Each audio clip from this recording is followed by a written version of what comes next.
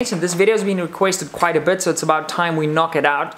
But before we get there, I want to make sure you guys understand the techniques I'm showing you in this video is what I'm doing that works for me and it's not necessarily going to be safe in your rifle. So whatever you do, work up in your loads when you're doing load development or loading for your rifle. What I'm showing you today is techniques that I use. I by no means think that they're perfect and they can absolutely be improved upon and I do change them up quite a bit. So without further ado, let's have a look at what we used um, to do the load development uh, or loading for this video. So First of all, I'm starting with brand new small rifle primer Alpha Munitions brass. So I really like the fact that the Alpha brass comes individually packaged. Each section of brass is in its own little compartment it's got a piece of foam over the top. It's not vibrating. It's not shaking during transport and stuff like that. And that's a really nice little touch. So well done on that, Alpha. For the guys in South Africa, Alpha Brass is not available here yet. I got a sample package and was really lucky uh, to be able to sample this. We are working on getting that to you here. It's really exciting. They've got some great little um, calibers that they're producing high quality brass for. So I'm super excited about that. Now, my process for loading once fired brass or how many ever times fired brass is relatively simple. There's, we're just not going to resize um, during this process. So first of all, I'm going to start with the new brasses. I'm going to take it over to my RCBS case prep station.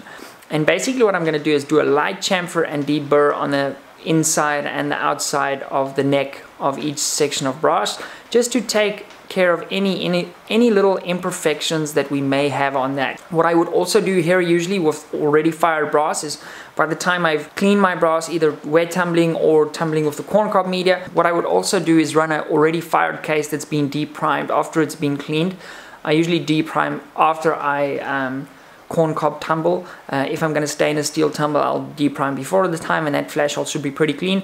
But if I've used the corn media to tumble, I would just deprime using a universal depriming tool, at which point I would run it through the little case prep station, just quickly take care of any debris or something in that flash hole and that primer pocket. And then I would also run it, I would add a brush on one of the stations and I'd run the brush through the neck and inside the case just to grab any bits of corn cob that's already stuck in that case because if you have extra corn cob in there, you might have an explosive situation on your hands. So be wary of that if you are using corn cob. Make sure all those cases are clean.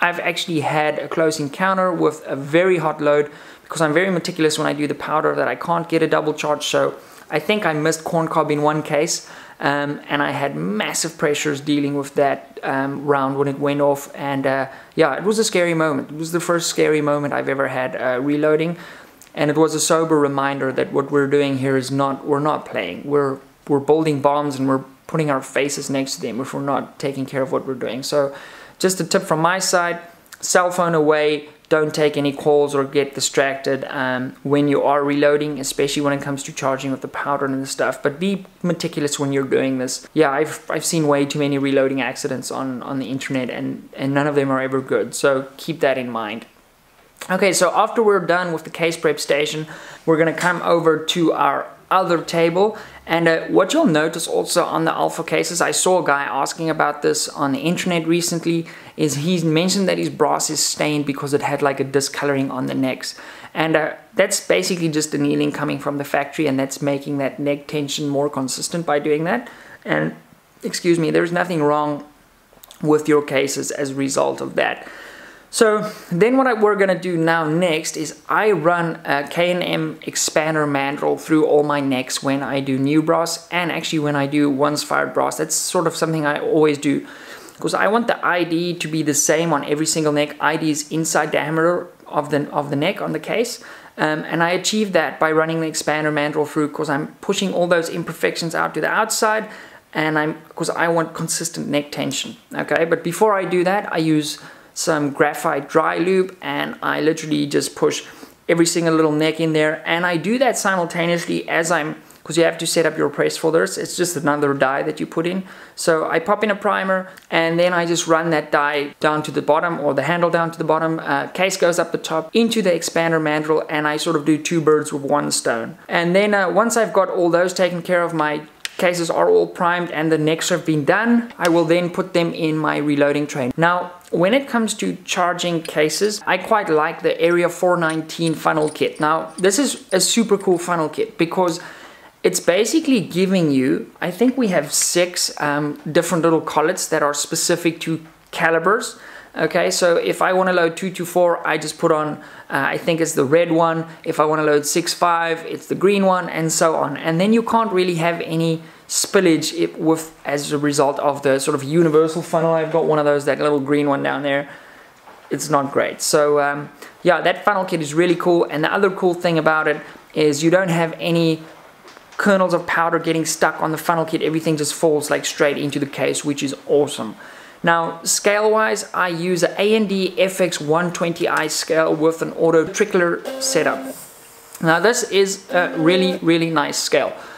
It's also really, really expensive. Now, people, when they find out what this setup costs, they're like, wow, Pete, that's, that's a little crazy.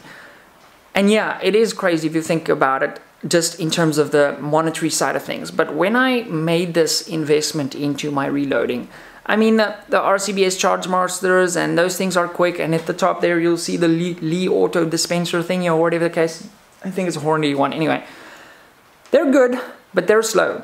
And when I started running the numbers and seeing this is how long it takes me to load for a two day match, loading 230 rounds, I thought like if I can get something that's quicker with the same amount of accuracy or better accuracy, that that might be a great investment. And for myself, it absolutely has been one of the best things I've bought for reloading. It's almost instantaneous in how quickly it dispenses the powder and it's super accurate. There's no under or overloads or I mean, I've probably loaded a couple of thousands of rounds and maybe had one or two that were under, and that was as a result of me just bumping the table at like the super last minute.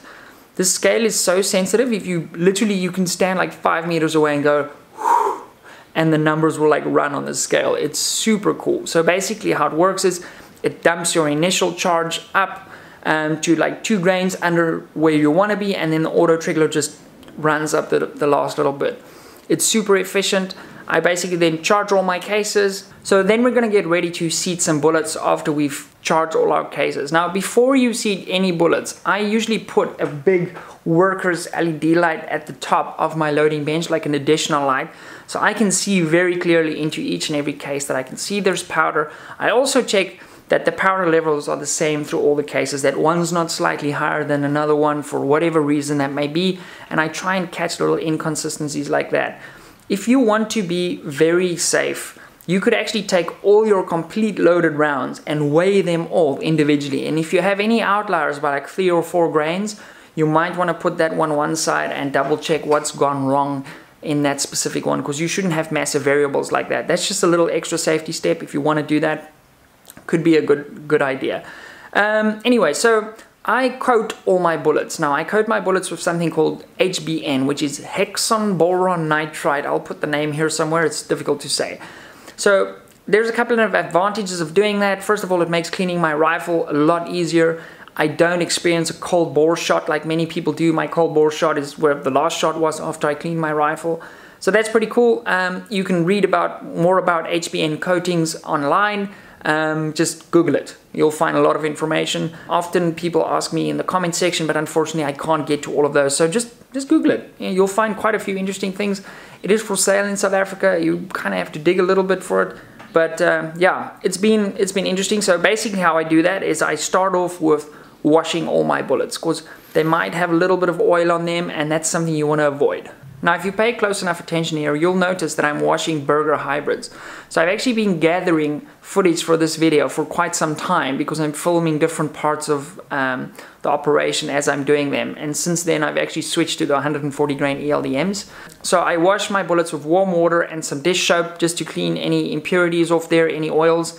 Then I put them in the oven, okay? At a very low temperature and I stir them regularly just to evenly distribute the heat. I kind of do the oven at like 40 degrees, so nothing near hot enough to melt any of the ballistic tips or deform any bullets. I just want to get rid of the moisture. Sometimes when I dump it out before it goes in the oven, I rub it off with some kitchen towels. And at this point, I'm usually also wearing rubber gloves and trying not to touch anything with my hands again.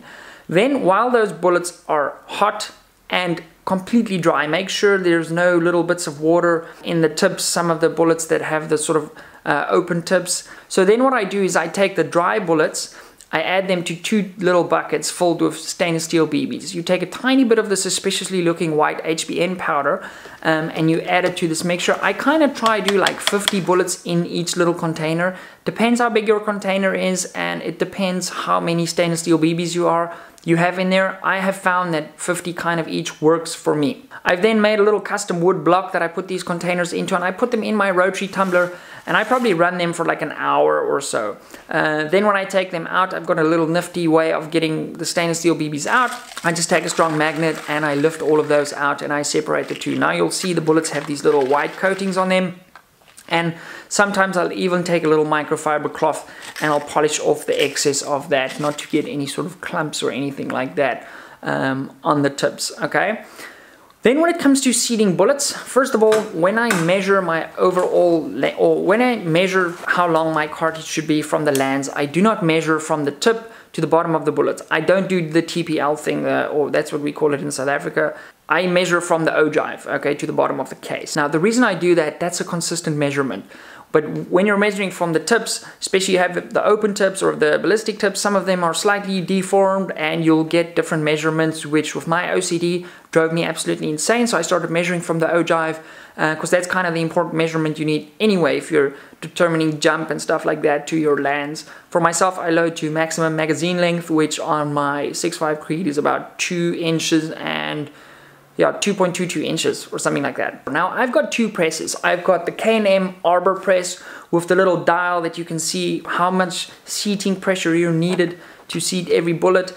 Uh, I use the Wilson die with the VLD seating stem for that and that works great but for myself it is a little bit slow when I am loading in bigger volumes so I also have the Big Boss 2 press which I have a lot of good luck with and I'm using Redding dies at the moment. So after I've basically loaded up all my ammunition, if I'm gonna go out to a match, I take a Sharpie or two and I do a little marking on each case, which you can see here, and I would pop them straight into my Wells Custom Defense uh, little ammo pouch. If I'm just going out to the range, they go right back into the alpha box, which is cool because it also, it's big enough that it can take the loaded ammunition uh, with the little foam piece on top and they're not jiggling and shaking about while you're transporting them, which is really cool.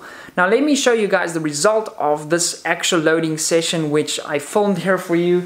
Um, so I shot this on the 15th of March. So this is what we're working with. I hope that camera is focusing on that because I can't see the camera screen with the way we've set up the lighting here today. But there was a .17 MOA group at 100 yards, uh, which is pretty great for new brass. Hasn't been fire formed in your actual chamber. So I'm super stoked with that. Unfortunately, that match I shot, I came second because I had a few bobbles on the first two stages. But pretty impressive result with the Alpha. Um, I haven't actually gone to doing a new load with the brass as it is now because I've recently changed barrels. But I did test the same load with some other loaded ammunition I have and it does like it. Uh, we did the barrel breaking yesterday and I'm gonna do a separate video on that. But yeah, that's kind of it for my reloading guide. Um, that's what I do. I hope I didn't miss anything. Let me check my little list here quickly. Mm, got it, got it, got it, got it. Got it, got it, got it. Yeah, kind of covered everything. And then guys, I really want to ask you, if the videos are beneficial to you, please take some time to share these with your buddies. I need this YouTube channel to grow. It's growing nicely, but we can always do better. I want to do this full time. At some point, the quicker we can grow the channel, the quicker we can get there and the better quality content I can put out for you guys. And then I can put out more content if I'm doing this full time. So that's kind of the goal where we are. Thank you very much for watching. I appreciate it. It was a lot of fun putting this video together. I really enjoyed this project. Um, yeah, I've learned a ton about reloading. I'm pretty sure I can learn a hell of a lot more about reloading. But that's the beautiful thing about the sport, and that's why it intrigues me, because you can kind of never perfect it, which is super cool, and that's what keeps people coming back. And uh, that's just on the reloading side. Then you still gotta get the shooting skills and all those things, the wind reading, there's so many variables here. It's, it's really like the deepest rabbit hole I've ever gone into. And um, yeah, I'm having a ton of fun on this journey and it's been super cool to share it with you guys. Anyway, without further ado, thank you so much for watching once again. I hope this video was worth the wait. Um, yeah, see ya, bye.